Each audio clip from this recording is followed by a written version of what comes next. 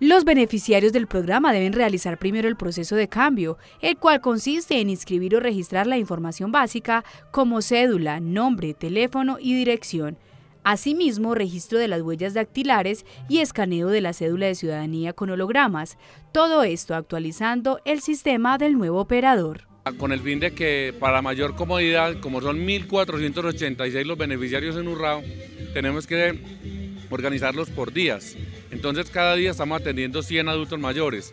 Este proceso va hasta el 4 de septiembre. Entonces de aquí al 4 de septiembre tenemos que registrar todos los adultos mayores en la empresa Gana con la huella digital para poder cobrar este subsidio del adulto mayor. Aunque la estrategia se ha planteado para mejorar los procesos, aún hay situaciones que no garantizan totalmente el proceso para el pago de algunos adultos que tienen dificultades para su movilidad. Me da mucha tristeza también ver que los adultos que más lo necesitan porque están en sus camitas, porque no se pueden mover de su casa, que están en sillita de ruedas, hay que traerlos acá. Eso es muy angustioso. Es importante adelantar este trámite para evitar cualquier traumatismo en los cobros de nómina correspondiente a julio y agosto, que se harán efectivos en los próximos días.